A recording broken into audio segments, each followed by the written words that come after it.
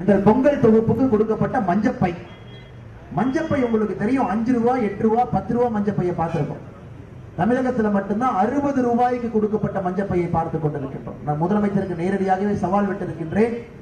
உங்களுடைய மஞ்சப்பை மக்களுக்கு கொடுத்ததை நீங்க அறுபது ரூபாய்க்கு விலைக்கு வாங்கியிருக்கிறீங்க. ரெண்டே கால் கோடி மஞ்சப்பை வாங்கியிருக்கிறீங்க. நூத்தி முப்பது கோடி ரூபாய் மஞ்சப்பையில மட்டும் நீங்க சம்பாதிச்சிருக்கிறீங்க. எப்படி வந்து மக்களுக்கு நல்லாட்சி தருவதாக மறுபடியும் நீங்க பொய் சொல்றீங்க?